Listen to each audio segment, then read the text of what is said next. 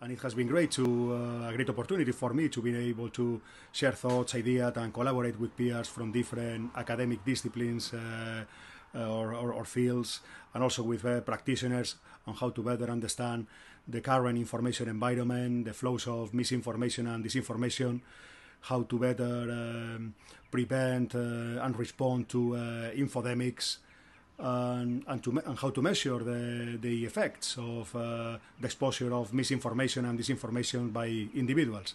There are similarities and dissimilarities between the spreading uh, of uh, a disease and the spreading of information. The most relevant one being uh, that information travels much faster than a biological virus. One of the most interesting things I heard about was the use of personas in the development of targeted communication materials. This really gets to the critical role of identity in this issue.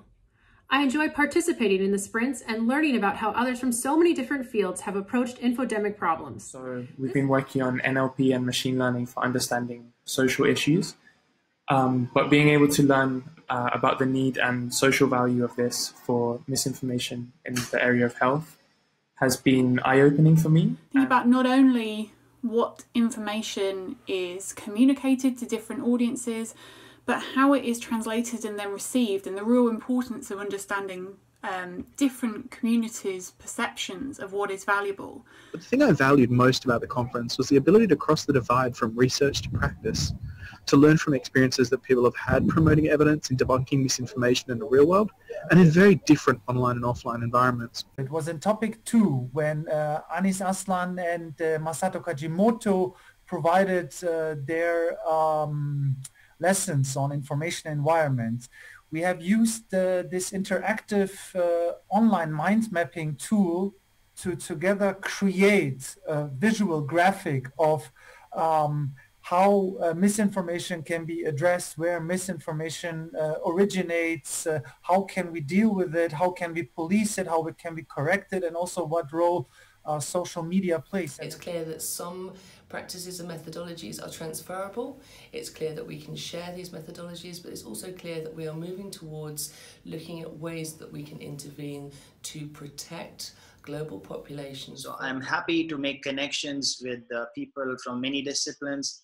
And I think uh, solving a complex problem like misinformation would require a global effort, a coordinated effort. And I think this uh, first World Health Organization was a very good step towards this goal. I think that uh, it's extremely important, especially for these new challenging uh, visions, to have uh, a test like this. Because what happens today is that despite of all the resources that we have, there is not enough diversity in our discussions. And that was absolutely a crucial step forward. Turns out I'm not just meeting with people who are smart and intelligent. They also have big hearts. And I think that is the most important thing. When we discuss each other, compliment each other, embracing each other, uh, I became realize that working in this field, we need diverse uh, perspective and also we need collaboration more and more. So we need a coordinated response to fight misinformation and establish a community of practice which facilitates sharing of best practices and also coordinate our response.